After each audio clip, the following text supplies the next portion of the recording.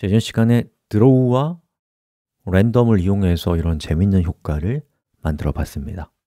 자, 그런데 지금 여기 있는 이 애니메이션은 하나의 캔버스 위에 계속해서 그림이 덧그려지면서 애니메이션 효과가 나오고 있거든요. 여러분이 어떤 하나의 원이 어, 옆으로 이렇게 자연스럽게 움직이도록 하고 싶다면 좀 다른 방법을 써야 돼요 자, 이렇게 하시면 됩니다. 여기는 백그라운드가 뭐예요? 캔버스를 꾸며주는 거예요. 그래서 백그라운드가 있으면 캔버스에 그려져 있던 모든 시각적인 그림이 다 사라지는 거예요.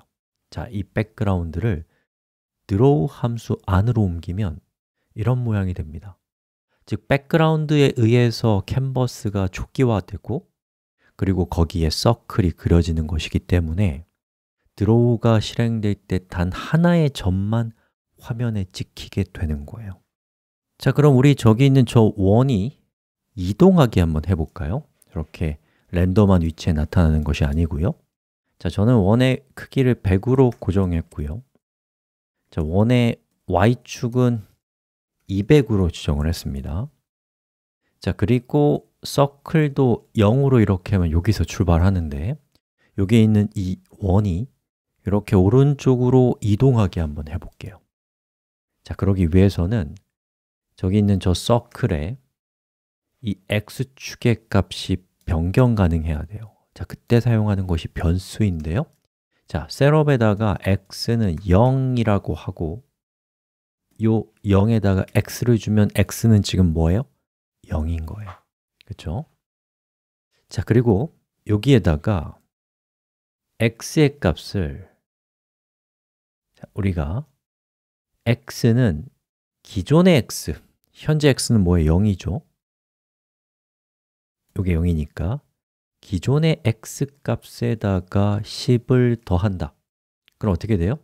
0에 10을 더하면 여기 x는 10이 될 것이고 서클은 10이 될 겁니다 자, 그 다음에 드로우가 실행이 되면 새로운 x는 10이고 거기에 10을 더하면 x의 값은 20이 되면서 서클은 20만큼 이동을 하겠죠 자, 한번 실행을 시켜볼까요?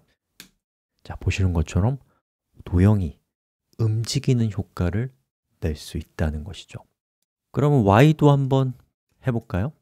y의 초기 위치를 0으로 하고 y는 기존의 y값 더하기 5 정도로 줘볼까요?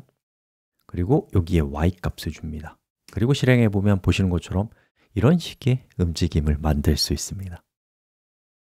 어때요? 신기하죠? 자, 이 영상 끝내기 전에 제가 팁 하나만 알려드릴게요. 자, 우리가 캔버스의 크기를 400으로 지정했는데요. 이 너무 조그매요. 그렇다고 너무 크게 하면 화면보다 커져서 이제 우리 눈에 보이지 않는 부분이 생긴단 말이죠. 그래서 이 캔버스를 그 캔버스가 속해 있는 화면에 크기만하게 만들고 싶다. 그럼 어떻게 하면 되냐면 P5JS에는 이런 이름의 변수가 준비되어 있거든요. window width 그리고 window height 그리고 실행시켜 보면 보시는 것처럼 화면 전체를 꽉 채운 캔버스를 만들 수 있습니다